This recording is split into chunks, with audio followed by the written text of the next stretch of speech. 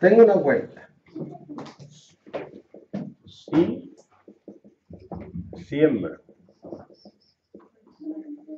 la mitad de la mitad de qué? De pimiento.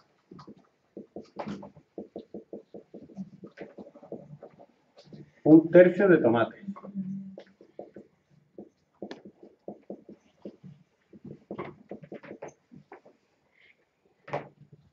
Y el resto,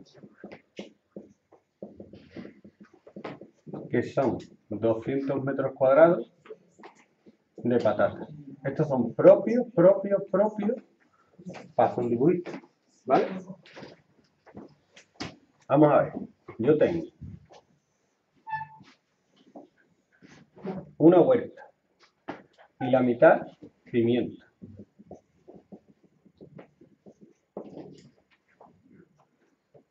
Una tercera parte de tomate. Una tercera parte sería un poquito menos que la mitad. Y el resto, que son 200 metros cuadrados, de patatas. Entonces yo puedo decir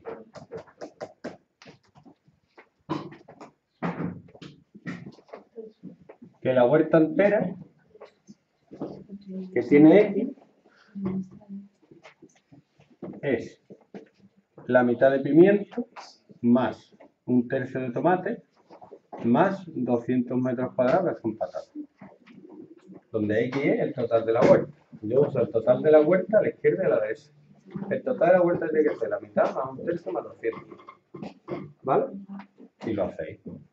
Yo lo voy a hacer por... porque me gusta.